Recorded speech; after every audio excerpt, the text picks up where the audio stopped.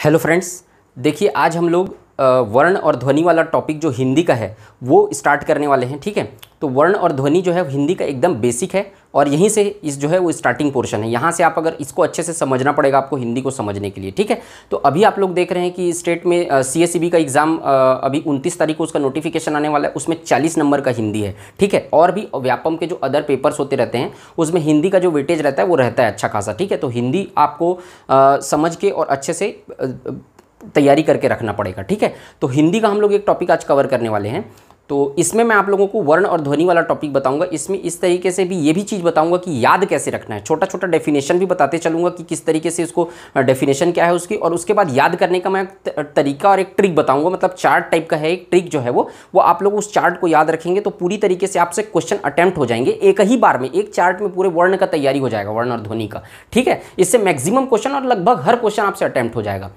तो अब के बाद, ठीक है? तो इसको आप अच्छे से समझिए, अब ये वीडियो आपको बहुत इंपॉर्टेंट होने वाला है। तो आज की वीडियो की मैं आप अब बताइएगा कि आपके लिए उपयोगी हुआ कि नहीं, आप लोगों को इससे हेल्प मिल रहा है या नहीं? कमेंट सेक्शन में बताइएगा। अगर आप लोग को लगे कि और भी इस तरीके के आप लोग वीडियो चाहते हैं तो आप लोग बताइएगा उसके बाद, फिर नेक्स्ट अपन देखेंगे इसके बाद। इसके अलावा जो हम लोग संविधान के जो कॉन्स्टिट्यूशन की जो सीरीज़ चल रही थी, तिरसठ वीडियो उसमें अपलोड हो चुके हैं, मैं डिस्क्रिप्शन में लिंक डाल दूँगा अगर आप लोगों में से जो नहीं देखे हैं, वो आप अगर चाहें तो कॉन्स्टिट्यूशन की जो सीरीज़ चल रही है, वो आप लोग देख सकते हैं जाके। डिस्क्रिप्शन में लिंक दे दूँगा मैं, ठीक है? तो वो प्लेलिस्ट में जाके आप लोग चैनल या फिर चैनल के प्लेलिस्ट में जाके भी आप लोग देख सकते हैं। तो आज हम लोग अभी वर्ण एवं ध्वनि की वाले इकाई जो टॉपिक है वो कवर करेंगे, ठीक है? आई होप आप सबको ये वीडियो पसंद आएगा। अगर वीडियो पसंद आए तो वीडियो को लाइक कीजिए चैनल को सब्सक्राइब कीजिए, ज़्यादा से ज़्यादा शेयर कीजिए, ठीक है?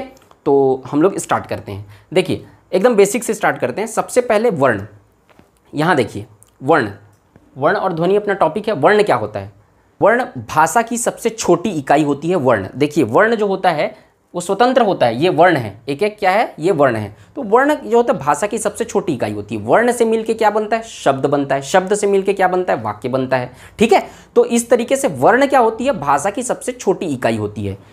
टोटल वर्णों की संख्या है बावन। सबसे पहले चीज़ तो आपको बारह खड़ी याद रखनी है, जो ये पढ़ते हैं ना अपन, क, ख, ग ग अंग च, छ ट ठ ढ ये पूरा तरीके से आपको याद होना चाहिए, ठीक है? आप नहीं याद किए तो फिर याद करके रखिए इसको, क्योंकि इसी से ये बनेगा।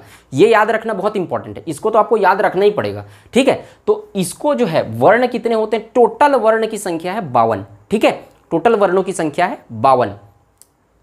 वर्णमाला, वर्णों के व्यवस्थित क्रम को वर्णमाला कहते हैं। जो वर्ण को आप जिस ऑर्डर पे लिखते हैं तो व्यवस्थित वर्णों के व्यवस्थित क्रम को वर्णमाला कहते हैं। वर्णों के व्यवस्थित समूह को।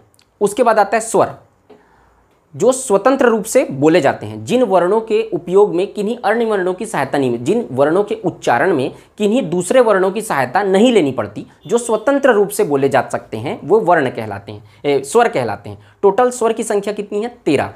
ये क्या रहते हैं? स्वतंत्र होते हैं किसी दूसरे वर्ण की सहायता नहीं लेनी पड़ती इनके उच्चारण में। अ आ ई ई उ ऊ री ए ए ओ अम और अह ठीक है? तो ये कितने वर्ण हुए ए, कितने स्वर हुए आपके? तेरह स्वर। ठीक है? लेकिन इन दोनों को याद रखिएगा आप अम और अह को। ये जो अम का निशान है और ये अह है ये दोनों को अयोग अयोगवाह कहते हैं। न तो ये पूरे स्वर हैं आधे स्वर है ये पूरे स्वर नहीं है और पूरे व्यंजन नहीं हैं। स्वर के बाद प्रयुक्त होते हैं और व्यंजन व्यंजन के पहले प्रयुक्त होते हैं। इसलिए इनको क्या कहा जाता है? अयोगवाह कहा जाता है। तो अम और अह अयोगवाह है। स्वर में इनकी गिनती होती है तो स्वर, आधे स्वर मतलब स्वर के बाद और व्यंजन के पहले आते हैं, ठीक है? तो ये अयोगवाह कहे जाते हैं, अम और अह, ठीक है? अम और अह, स्वर के बाद इनकी प्रयोग होती है और व्यंजन के पहले प्रयुक्त होते हैं। तो स्वरों की संख्या कुल टोटल कितनी? तेरह। ये भी याद रखना है आपको, ये पूछ चुका है। अब देखते हैं अपन व्यंजन। स्वरों की सहायता से बोले जाने वाले वर्ण व्यंजन कहलाते हैं। व्यंजन के प्रयोग करने के लिए हमको स्वरों की सहायता लेनी पड़ती है, ठीक है? बिना स्वर के प्रयोग के व्यंजन को प्रयोग उच्चारण नहीं किया जा सकता, है ना? जिन वर्णों के उच्चारण में स्वर की सहायता लेनी पड़ती है, वो व्यंजन वर्ण कहलाते हैं, ठीक है? तो व्यंजन वर्ण टोटल कितने तैंतीस। अब इसी को देखना है, इसमें से कौन सा स्पर्श से व्यंजन है, इसमें से कौन सा अंतस्थ है, इसमें से कौन सा उक्षि उक्षिप्त है, उष्म संघर्षी है, संयुक्त व्यंजन है, यही सब चीज़ को देखना है, इसी को पूछता है, ठीक है? तो अपने को व्यंजन अब अपन डिटेल में पढ़ेंगे, ठीक?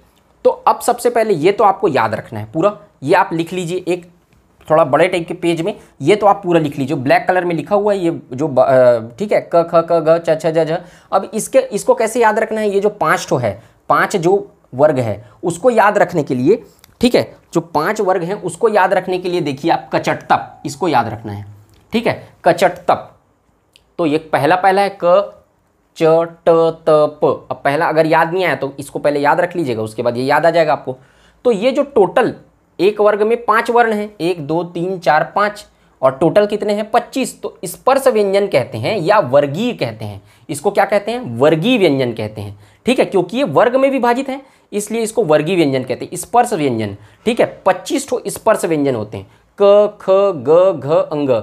च, छ, ज, झ इया ट, ठ, ड, ढ, अण। त, थ, द, ध, न, प, फ, ब, भ, म। तो पच्चीस ठो क्या है? स्पर्श व्यंजन होते हैं। स्पर्श व्यंजन उसको कहते हैं जिनके उच्चारण के लिए कंठ तालु कंठ यानी गला, तालु यानी आपका जो जीभ है वो मूर्धन्य। देखिए, मूर्धन्य क्या होता है? जो जीभ के ऊपर वाला पोर्शन है, ठीक है? ये इसके ऊपर वाला जो पोर्शन है, दांत के ऊपर वाला पोर्शन, ठीक है? जब आप ट बोलते हैं तो ट बोल के देखिए, जीभ कहाँ से टच हो रहा है? ऊपर से टच हो रहा है ना? तो वो ट के उच्चारण में जीभ ऊपर से टच हो रहा है तो जहाँ से टच हो रहा है, उसी को मूर्धन्य कहते हैं, ऊपर वाले पोर्शन को दांत के, ठीक है? दंत, दांत, ओष्ठ, होठ, तालु होठ ये होता है, जीभ होता है, टालू मतलब। तो जिनके प्रयोग के लिए गला, हो जीभ, ये मूर्धन्य ऊपर वाला हिस्सा, दांत और होठ का प्रयोग करना पड़ता है, जिसके स्पर्श से ये उच्चारण किए जाते हैं, उनको क्या कहते हैं? स्पर्श व्यंजन कहते हैं। और वर्गी क्यों कहते हैं? क्योंकि ये वर्ग में विभाजित है, इसलिए वर्गी कहते हैं। टोटल नंबर ऑफ़ टोटल कितने नंबर होते हैं इसके? स्पर्श व्यंजन के पच्चीस टू स्पर्श व्यंजन होते हैं, ठीक है? ये समझ गए आप लोग? ये पूरा लिखिएगा इसके इधर ये जैसे लिखा हूँ वैसे ही नोट करना है। इस स्पर्श व्यंजन होते पच्चीस। ठीक? अब यहाँ पर आप देखेंगे। कंठ। अब इसके, ये वाले वर्ग के सामने आप लिखिए कंठ, क्योंकि ये कंठ से बोले जाते हैं मतलब गले से बोले जाते हैं। इनका उच्चारण स्थान क्या है? तो इन्हीं का निम्न का उच्चारण स्थान कंठ है। ऐसा क्वेश्चन आएगा। तो उसमें आपको देखना है, निम्न से का उच्चारण स्थान कंठ नहीं है तो इसमें क, ख, ग दिए रहेगा, एक ऑप्शन च दिए रहेगा। तो इस तरीके से आपको पहचानना पड़ेगा। इसलिए मैं इसके सामने क्या लिखा हूँ? कंठ लिखा हूँ। कंठ, इनका उच्चारण स्थान तालु है मतलब जीभ है। इनका उच्चारण स्थान मूर्धन्य है मतलब ये ऊपर वाला हिस्सा। इनका उच्चारण स्थान दंत है मतलब दांत। और इनका उच्चारण स्थान ओष्ठ है मतलब ओ होठ। अब इसको कैसे याद रखेंगे आप? इसको तो याद रख लेंगे, कचटतप, ये वाला बता दिया। इसको याद रखना है कंठ, तालु, मूर्धन्य, के टी एम डी ओ। इसको याद रखना है आपको, के टी, है ना? के टी एम डी ओ। ऐसे याद रख लो, ठीक है? के टी एम डी ओ। के टी एम डी ओ, के टी एम डी ओ, यहाँ लिखा हुआ के टी एम डी ओ तो यहाँ कंठ, के से कंठ, त से तालु, एम से मूर्धन्य, डी से दंत, ओ से ओष्ठ, दो चार बार इसको भी बोलना, के टी एम डी ओ, याद हो जाएगा ये। तो यहाँ से आप लोग पहचान लेंगे अब। कि कौन सा कंठ से उच्चारण होता है, कौन सा तालु से होता है, कौन सा मूर्धन्य से होता है, ठीक है? कौन सा दंत से होता है? त। त के लिए देखो, दांत का स्पर्श और थ, दांत से स्पर्श होना प प के लिए होठ से हो रहा है, च, जीभ का प्रयोग हो रहा है, क कंठ से। लेकिन अब आपको ऐसे अगर याद रखना है तो आपको स्पर्श कर करके देख सकते हैं आप। तो वो याद रख लीजिए। नहीं है तो फिर ये टेक्निक याद रखिए, इसमें जल्दी बनेगा। ठीक है? वहाँ फिर क्या दिक्कत हो जाता है फिर, अगर ऐसे में आप स्पर्श कर करके देखते रहेंगे तो। ठीक है? तो आप वैसे याद रख सकते तो वैसे भी याद रख ले, क क, का उच्चारण स्थान देखिए, आप कंठ से हो रहा है, ख, क कंठ से हो रहा है तो इस तरीके से भी आप लोग याद रख सकते हैं। मैं आपको दूसरा तरीका बता रहा हूँ, इस तरीके से चार्ट के फॉर्म में भी आप लोग याद रख सकते हैं। अब ये हो गया आपका, ये ध्यान रख लिया आप। अब इसमें याद रखना आप लोगों को, स्पर्श व्यंजन हो गया पच्चीस टोटल ये समझ गए? अब इसके बाद य, र, ल, व, ये चार ठो जो है, य र, ल और व। ये अंतस्थ व्यंजन कहलाते हैं, या अर्धस्वर कहलाते हैं। अंतस्थ व्यंजन का मतलब होता है, अंतस्थ व्यंजन क्या है? देखिए, ये स्वर और व्यंजन दोनों के बीच के हिस्से होते हैं। ये किसको कंठ, तालु दंत, ओष्ठ, इसको सटाने से, परस्पर सटाने से इनका उच्चारण होता है। क्या होता है? कंठ, तालु, दंत, ओष्ठ को मतलब है ना? मतलब जीभ, होठ दांत इसको परस्पर सटाने से एक एक बार थोड़ा थोड़ा देर के लिए टच होता है ठीक है? तो परस्पर सटाने से इनका उच्चारण होता है लेकिन ये पूरी तरीके से क्या होते हैं? नहीं उनको सटा पर, परस्पर सटाने से उनका उच्चारण होता है लेकिन पूरी तरीके से उसको सटाना नहीं पड़ता। ये न तो पूर्णता स्वर है न तो पूर्णता व्यंजन इसलिए इसको अर्ध स्वर कहते हैं ठीक है? तो अंतस्थ मतलब कंठ तालु मूर्धन कंठ तालु दंत, ओष्ठ परस्पर सटाने से उत्पन्न होते हैं, लेकिन पूरी तरीके से नहीं सटाना पड़ता। मतलब देखिए आप, य, र, ल, व, पूरी तरीके से नहीं सटाना पड़ रहा है थोड़ा थोड़ा सटाना पड़ रहा है। तो वही इसी को कहते हैं अंतस्थ, ठीक है? देखिए, य, र, ल, व अंतस्थ है। तो अंतस्थ व्यंजन कौन कौन से हैं? ये ध्यान रखना है। य, र, ल, व। इन चारों के सामने अंतस्थ लिखना। य, र, ल, व अंतस्थ है। ये अंतस्थ व्यंजन की संख्या कितनी है? चार है। ठीक है? ना तो ये ये स्वर और व्यंजन दोनों के बीच में आते हैं और कंठ, तालु, दंत और ओष्ठ को परस्पर सटाने से इनको उच्चारण होता है। तो चार ठो है आपका अर्ध स्वर या अंतस्थ। चार ठो व्यंजन को अंतस्थ व्यंजन कहते हैं। ठीक है? उसके बाद उसमें या संघर्षी स, षटकोण का स, श, स, ह उसमें या संघर्षी किसको इसको उच्चारण करने के लिए क्या होता है? जिन, जिनका, जिन वर्णों का उच्चारण एक प्रकार की रगड़ या संघर्ष से उत्पन्न होता है। जिनका उच्चारण एक प्रकार के रगड़ और संघर्ष से उत्पन्न होता है, उसमें संघर्षी व्यंजन कहलाते हैं। देखिए आप, श, स, ह, थोड़ा रगड़ से उत्पन्न हो रहा है ना ये? तो ये इसको कहते हैं उसमें या संघर्षी व्यंजन। ठीक है? तो यहाँ पर आपका जो जीभ है, वो रगड़ से उत्पन्न हो रहा है थोड़ा। स, श, स, इसका उच्चारण करके देखना। तो यहाँ पे चार ठो उसमें या संघर्षी व्यंजन रहते हैं। श, स श, स, ह। चार ठो उसमें या संघर्षी व्यंजन कहलाते हैं।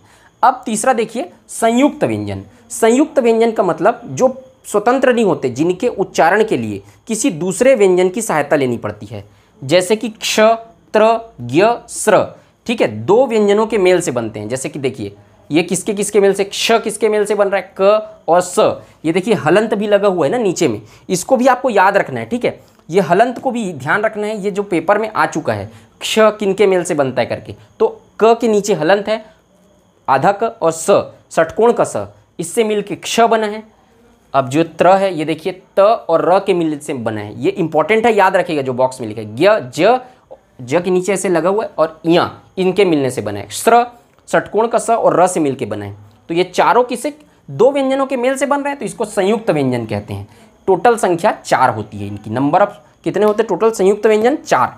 ठीक है? अब उक्षिप्त व्यंजन अंग और अढ़, इसको उक्षिप्त व्यंजन कहते हैं या द्विगुण व्यंजन कहते हैं। ठीक है? क्यों कहते हैं? क्योंकि देखिए, जो जीभ है, जीभ जो है, इसका प्रयोग करते समय ऊपर मूर्धन्य को टच कर रही है ये दांत के ऊपर वाले हिस्से को और टच करके तुरंत नीचे आ जा रही है। ठीक है? तो जब जीभ मूर्धन्य को टच करके तुरंत नीचे आ जाती है तो इसको उक्षिप्त व्यंजन कहते हैं, इसीलिए इसको। अंग और अढ़ टच कर रहा है, तुरंत नीचे आ रहा है। तो उक्षिप्त व्यंजन या द्विगुण व्यंजन कहते हैं अंग और अढ़ को। तो द्विगुण व्यंजन की संख्या कितनी है? दो। ठीक है? तो अंतस्थ व्यंजन कितने हैं? चार। उसमें या संघर्षी व्यंजन कितने हैं? ये वाले संयुक्त व्यंजन कितने हैं? ये चार। ठीक है? दो व्यंजनों की सहायता लेनी पड़ रही, उक्षिप्त या द्विगुण व्यंजन है, अंग और अढ़। ठीक है? तो ये हो गया आपका व्यंजन। टोटल स्पर्श संघर्षी व्यंजन 25 उसके बाद ये पूरे। ठीक है? तो ये हो गया आपका पूरा व्यंजन। अब देखिए, स्वरों को भी पूछता है। स्वर को पूछेगा कि ये जो स्वर है तेरह स्वर, ये कहाँ से, इनका जो उच्चारण स्थान कहाँ है? इनका उच्चारण स्थान कहाँ है? क्या है? अ का उच्चारण स्थान क्या है? ए का उच्चारण स्थान क्या है? तो हम लोगों ने व्यंजन को तो देख लिया टेबल से, ठीक है? तो हम लोगों को स्वर को भी देखना है कि स्वर का उच्चारण स्थान कहाँ पे है, ठीक है?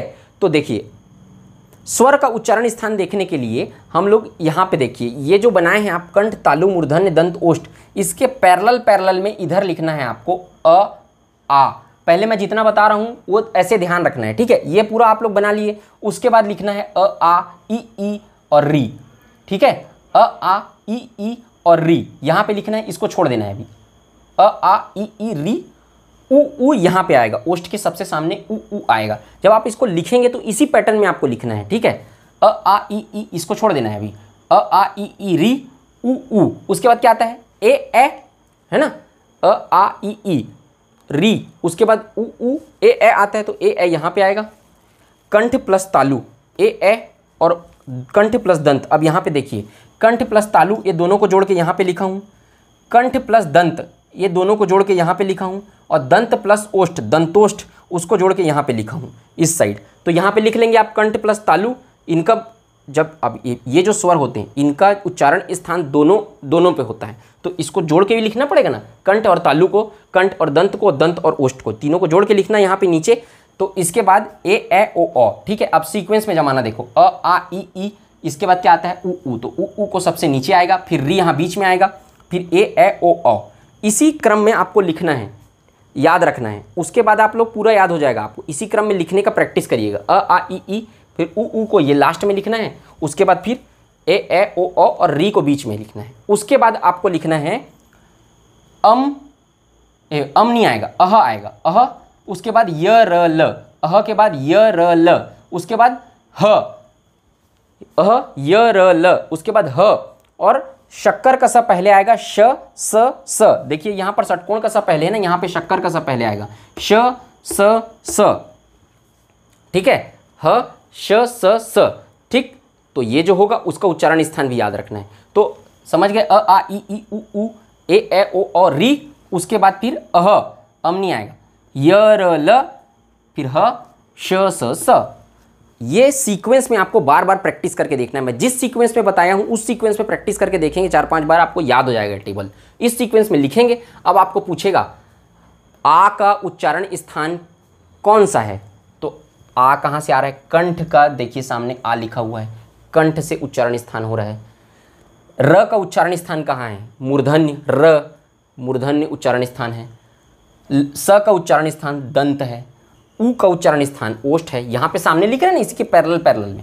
अब आप देखो ए का उच्चारण स्थान ए का उच्चारण स्थान, कंठ प्लस तालु दोनों जगह है ए का उच्चारण स्थान। ओ का उच्चारण स्थान, कंठ प्लस दंत दोनों जगह है।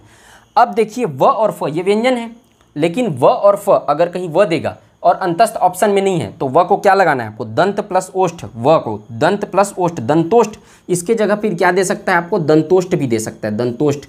अगर दंतोष्ठ भी देगा तो दंत प्लस ओष्ठ संधि विच्छेद कर देंगे तो यही आता है। तो व और फ दंतोष्ठ में आएगा, ठीक है? तो व और फ को आप अलग से लिखे रहना। अगर ये नहीं दिया है तो फिर अंत दंत और ओष्ठ में आएगा, ठीक है?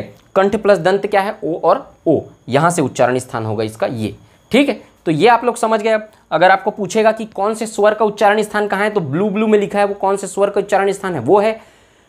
कौन से व्यंजन का उच्चारण स्थान कहाँ पर से है तो व्यंजन को आप यहाँ पर ये लिखे हैं ये ये व्यंजन का उच्चारण स्थान से यहाँ से समझ में आ जाएगा। अब अपन दो चीज़ और देखते हैं। अल्प प्राण और महाप्राण क्या चीज़ होता है, ठीक है? अब क्या देखेंगे अपन? अल्प प्राण और महाप्राण। तो अल्प प्राण क्या होता है? जिसके उच्चारण के लिए के लिए, है ना? जिन वर्णों के उच्चारण के लिए वायु का प्रक्षेपण एकदम कम या नहीं के बराबर हो। मुँह से वायु जो है, वो एकदम कम निकले या नहीं के बराबर निकले। तो वो होते हैं अल्प प्राण कहे जाते हैं। वायु जो, मुँह से जो वायु निकलेगा, वो एकदम कम या न के बराबर निकलेगा। वो अल्प प्राण, ठीक है? यहाँ पर आपको लिखना है ऊपर। इसी के ऊपर में लिखना है अल्प प्राण, महाप्राण, अल्प प्राण, महाप्राण, अल्प प्राण। ये लिख लेना है, एक बार अल्प प्राण लिखना, फिर महाप्राण, फिर अल्प प्राण, महाप्राण, फिर अल्प प्राण। तो ऐसे डेफिनेशन से समझना चाहते हैं तो देखिए। वायु कम निकले मुँह से, अल्प प्राण। महाप्राण क्या है? वायु मुँह से बहुत ज़्यादा निकले, अधिक मात्रा में निकले, वो महाप्राण है। तो अल्प प्राण के लिए देखिए, पहला तीसरा और चौथा नंबर का पांचवा नंबर का जो वर्ग है अल्प प्राण महाप्राण अल्प प्राण महाप्राण अल्प प्राण याद, ये आप लिखे रहेंगे, ऊपर में लिख लो। तो आपको ध्यान आ जाएगा जब भी क्वेश्चन आएगा अल्प प्राण फिर दूसरा, महाप्राण था, फिर तीसरा वर्ग जो था वो अल्प प्राण था, फिर चौथा वर्ग, महाप्राण था। ठीक है? तो ऐसे याद रख सकते हैं, और ये ऐसे याद रखना तो ऐसे याद रख लो। प्रत्येक वर्ग का पहला, तीसरा, पांचवा और अंतस्थ, ये जो अंतस्थ होता है, अंतस्थ चार्ट हो, वो भी अल्प प्राण के अंतर्गत आता है। तो पहला चौथा, अल्प प्राण पढ़ा रहा हूँ ना, पहला चौथा और ये छठवा नंबर प्लस अंतस्थ, य, र, ल, व। अब इसमें देखिए, जब आप बोल रहे हैं य, र, ल, व, वायु एकदम कम निकल रहा है, ठीक है ना? तो ये अल्प प्राण हो गया। तो ये पहला, तीसरा, पांचवा और ये अंतस्थ, ये मिलके बनते हैं अल्प प्राण, ठीक है? महाप्राण, वायु मुँह से बहुत अधिक निकले।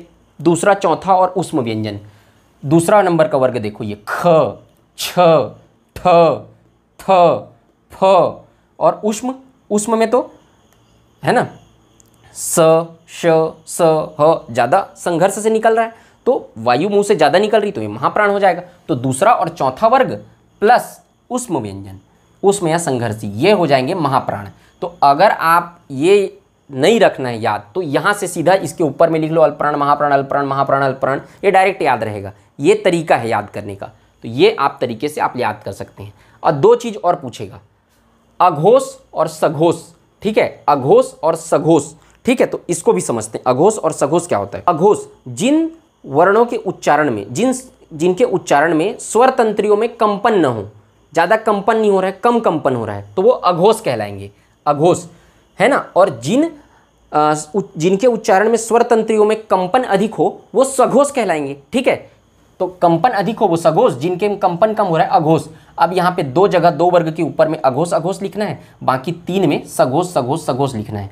तो अगर आपको पूछा ड, अघोष है कि सघोष है तो सघोष है, क्योंकि ये ड के ऊपर में आप क्या लिखे? सघोष लिखे। ढ, घो मतलब सघोष है, और यहाँ पर अण, सघोष है, इसी तरीके से पूछता है। त, निम्न में से अघोष कौन सा है? तो यहाँ पे निम्न में से अघोष कौन सा नहीं है? तो चार रहेगा तो आपको अघोष पहचानने रहेगा। ये वर्ग अघोष है, ये वर्ग अघोष, ये दोनों वर्ग अघोष आएँगे और ये तीनों वर्ग सघोष के अंतर्गत आएँगे। डेफिनेशन से कैसे याद रखेंगे? अघोष अघोष में स्वरतंत्रियों में कंपन कम होता है, सघोष में स्वरतंत्रियों में कंपन अधिक होता है। तो ये अघोष और सघोष हो गया, ठीक है ना? तो इस तरीके से आप अल्प प्राण महाप्राण अल्प प्राण महाप्राण अल्प प्राण लिख लीजिए और ऊपर में अघोष अघोष, अ अ लिख लेना और सघोष सघोष सघोष लिख लेना। तो यहाँ पे आसानी से आप पहचान पाएँगे उसको। तो ये टेबल ठीक है, ये टेबल अगर आप याद रखे हैं तो आपका ये टेबल से पूरा का पूरा क्वेश्चन वर्ण का जो है लगभग सॉल्व हो जाएगा पूरा। ठीक है, अब इसको कहते हैं अनुनासिक, है ना, या पंचमाक्षर कहते हैं ये, जो पांचवा, प्रत्येक वर्ग का पांचवा जो है ना, वो अनुनासिक या पंचमाक्षर कहलाता है, ये पाँचों। ठीक है, मैं लाइन नहीं खींच रहा हूँ, आप लोग नोट करेंगे तो ये पाँचों जो होता है अनुनासिक या पंचमाक्षर कहलाते हैं। कुछ कुछ चीज़ें छूटी हुई है, इसको और वीडियो में देख लेंगे, लेकिन इतने से आपका मैक्सिमम क्वेश्चन सॉल्व हो जाएगा। ठीक है तो आई तो इसका स्क्रीन ले लीजिए आप लोग।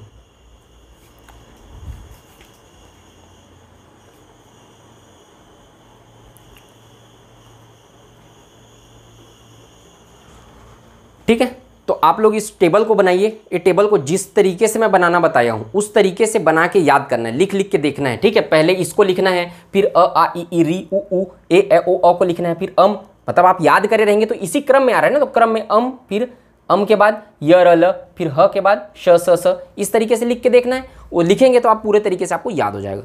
तो आई होप आप सबको कुछ सीखने के लिए मिला होगा, कुछ याद करने का तरीका समझ में आया होगा। अगर आप लोग को वीडियो अच्छा लगे तो वीडियो को लाइक कीजिए चैनल को सब्सक्राइब कीजिए, ज़्यादा से ज़्यादा शेयर कीजिए। मिलते हैं नेक्स्ट वीडियो में। जय हिंद, वंदे मातरम।